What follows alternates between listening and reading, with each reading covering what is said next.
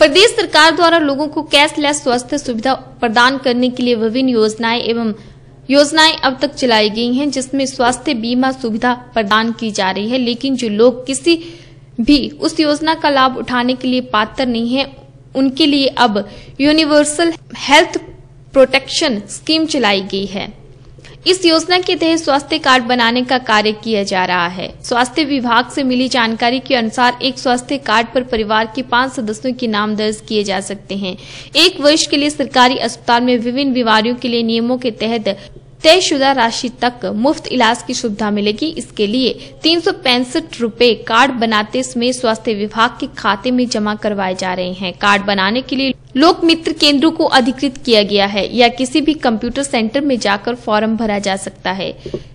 क्षेत्रीय अस्पताल सोलन में मुख्य चिकित्सा अधिकारी डॉक्टर आर के ध्रोच ने कहा कि प्रदेश सरकार द्वारा चलाई गई यूनिवर्सल स्वास्थ्य बीमा योजना के अंतर्गत आम बीमारी से लेकर गंभीर रोगों के मुफ़्त इलाज की सुविधा प्रदान की जा रही है। इसके लिए तीस हज़ार रूपए से लेकर सवा दो लाख रुपए तक आने वाले खर्च को स्वास्थ्य विभाग वहन करेगा। उन्होंने कहा कि ये कार्ड प्रति वर्ष तीन सौ पैंसठ रूपए की फ़ीस अदा कर नवीनीकरण करवाया जा सकेगा। सोलन में अभी तक करीब 700 कार्ड बनाए जा चुके हैं। यूनिवर्सल स्वास्थ्य बीमा योजना के अंतर्गत बनाए जाने वाले कार्डों में खामियाँ भी सामने आई हैं। सोलन के किसी भी क्षेत्र के निवासी के कार्ड पर बसाल पंचायत ही दर्ज हो रहा है, जो कि सॉफ्टवेयर कंपनी की लापरवाही का जीता जागता प्रमाण है। इस बारे में मुख्य चिकित्सा अधिकारी ने उच्च अधिकारियों को सूचित कर ये त्रुटि दूर करने की बात कही है। अब देखना ये होगा कि कब तक सॉफ्टवेयर की खामी को दूर किया जाएगा। इसके अलावा अभी तक जिन लोगों के कार्ड बन चुके हैं, उन्हें भविष्य में किन परेशानियों का सामना करना पड़ सकता है?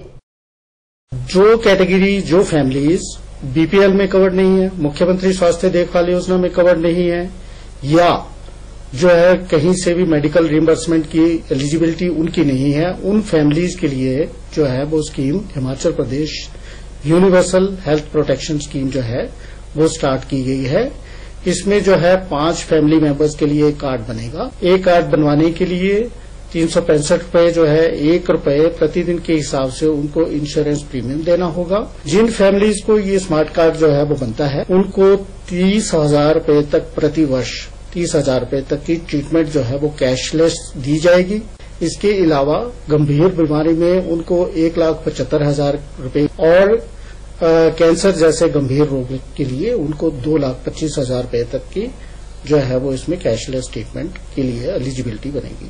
ये जो प्रीमियम दिया जा रहा है, ये एक साल की, और उसके बाद जो है वो अगले साल फिर इसको जो है इतना ही प्रीमियम देके रिन्यू करवाना पड़ेगा। Himachal Pradesh universal health protection scheme इसके अंतर्गत जो है लगभग 700 कार्ड जो है अभी तक बनाए जा चुके हैं। सॉफ्टवेयर की दिक्कत जो है, अभी आपने जैसा पॉइंट आउट किया है इसमें एड्रेस की समस्या आ रही है। एड्रेस की समस्या हम हायर अथॉरिटीज के नॉलेज में लाएँगे। वो आपने जैसे पॉइंट आउट किया, उसको हायर अथॉरिटीज को हम लिखेंगे।